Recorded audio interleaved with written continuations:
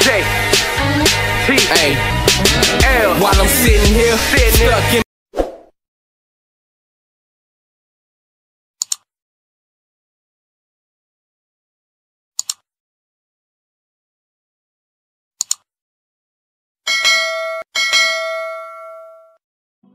Yo, what's good? It's your boy JTL. Y'all know what it is. Make sure y'all subscribe. So let's get into it. Y'all see the title. I'ma just say this. Man, ain't, no- more sick than an individual disrespecting somebody after they gone that they played cool with while they was alive. So that's why you see somebody getting for being disrespectful and certain other things that happen. Not saying it's necessary, but when you disrespect in this way, I ain't talking about Will slapping Chris for this the little weak joke he made about Jada, but the fact that this punk keep disrespecting somebody that's dead and gone and trying to say this to say that, whether it's true or not, you ain't have to play like this because you ain't said nothing when this man was alive. And somebody who say they been in prison all them times and all them years, you know what you done seen and been through. So if you a real man, you don't play games like that. But we see how this individual is now managing a rat. Everything he say he stands against. So we gonna sit here and act like this is cool. And then we got people on Clubhouse or Fed House like they call it, disrespecting everybody for clout. Playing a dangerous game. So I'm gonna go ahead and play this audio. I'm gonna come back with my commentary. All right. You feel me? Um, What just for the chat, because you know I represent the chat.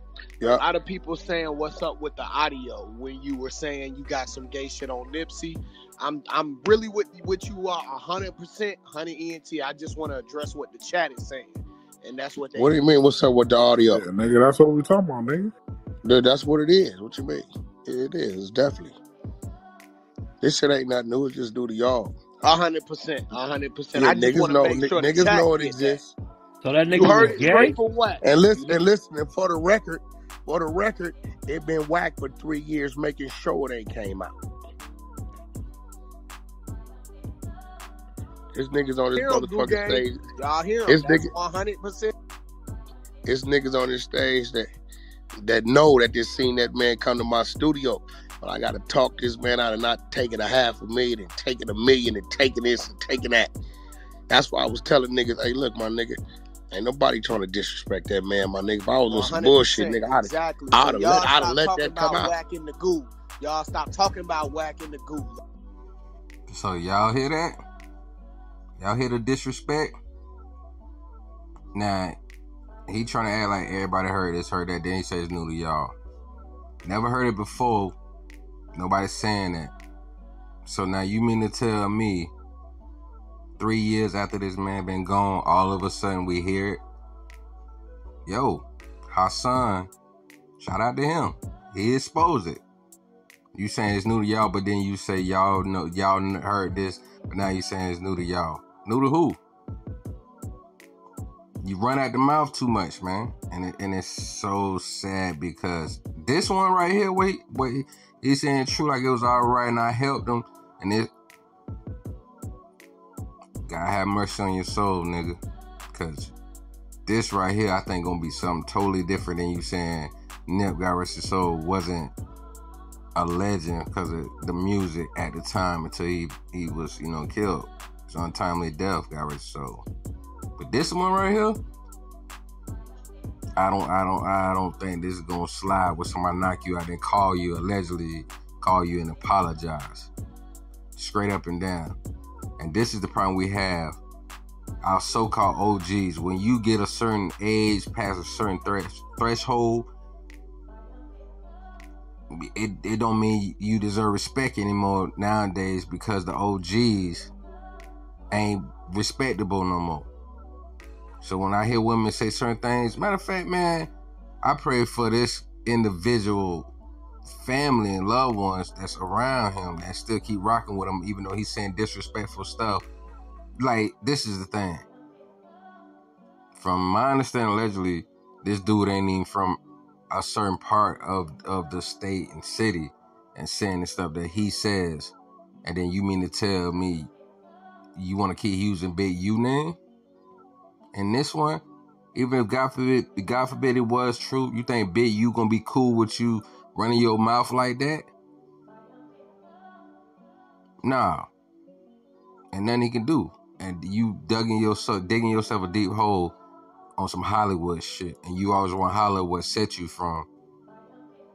I don't think they can help you on this one. Matter of fact, forget think they can or can't. You know, no disrespect to anybody. But this one I don't think they're gonna want to. I don't think Big U gonna give a damn because he even addressed that. He ain't cool with it. Like you gonna do what you do. Basically, it sound like to me, Big U been saying or said in that instance, hey, you gotta deal with your consequences.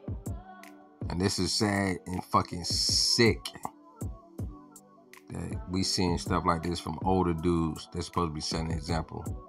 But even Big U said this on the Breakfast Club. Just because you're older, that don't make you an OG. That don't mean that youngsters gonna respect you. Especially if you still acting like them. That's some real shit. Rest in peace to Nipsey Hussle. Shout out to his loved ones, his family and friends, to his people, his community, you know what I'm saying? His homies, you know what I'm saying? It's sad, man. It's sad. And that's why I'm gonna leave this on this note. For all you youngsters out there, be careful who you deal with, man. Cost you a lot. So protect yourself. And like my big bro, the poet keeps saying, keep living, keep saying good morning. This your boy JTL, uh, opposite from norm. We'll be back with more. Make sure y'all hear me out. Hear out the real, that's what God trying to give you. This kind of stuff, it ain't worth it. You already go through enough with your family and friends at times. So leave them streets alone. Alright?